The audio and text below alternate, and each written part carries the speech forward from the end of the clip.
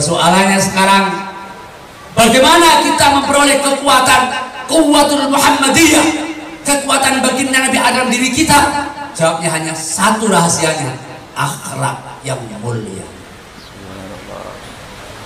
Al-akhlak al-karimah. Innama bu'ithu liutammima makarim al-akhlak. Imam Abu Hamid Muhammad bin Muhammad Al-Ghazali meriwayatkan dari Ibrahim An-Nakhai beliau menyatakan rahasia kekuatan akhlak itu pada satu saja. Jangan ada kelebihan pada tiga hal.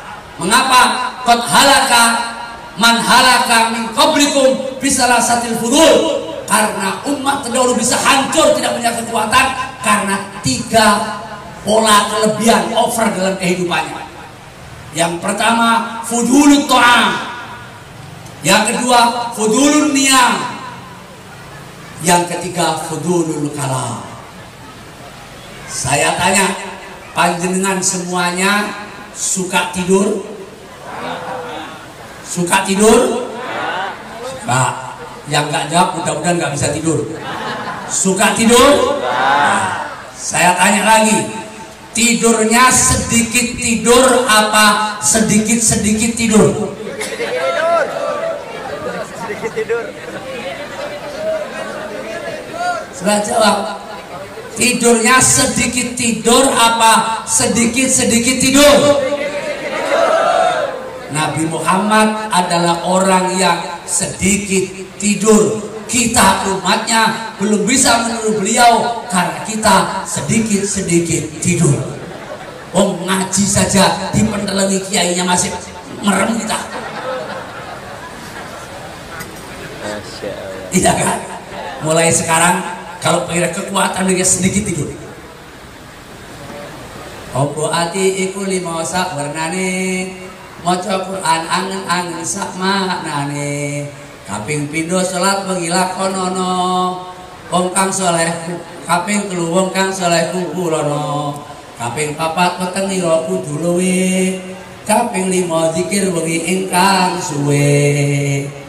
Banyak zikir kepada Allah. Kurangi tidur kurangi tidur karena Nabi orang yang sedikit tidur. Dan kita sebagai umatnya jangan sedikit-sedikit tidur tapi harus sedikit tidur. Nabi itu Rasulullah yang sedikit makan. Kita sedikit sedikit makan. Nabi itu kalau makan cuma jadi tiga jari. Tiga jari. Itu malah kadang-kadang saya ngiri sama Cina. Cina yang ikut Rasulullah Cina kalau makan pakai supit. Jadi kita lah kita sangat kuat kuat malah malah malah umat sopo tiga yang ini. Orang kedua orang ini insya Allah sama. Yang ketiga sedikit ngomong. Jangan sedikit sedikit ngomong. Tiga ini camkan baik-baik dalam kehidupan. Maka insya Allah ada kekuatan baginda Nabi yang ada dalam diri kita. Ada kekuatan uluhiyah. Kita bersama dengan para ulama yang diajarkan kasih sayang. Maka insya Allah kita akan menjadi manusia manusia luar biasa. Dan bukan manusia yang biasa di luar. Demikian mohon maaf dan terima kasih. Selamat berpisah. Sampai jumpa pada episode berikutnya. Wallahul muwafiq ila aqwamit thoriq. Wassalamualaikum ورحمة الله وبركاته.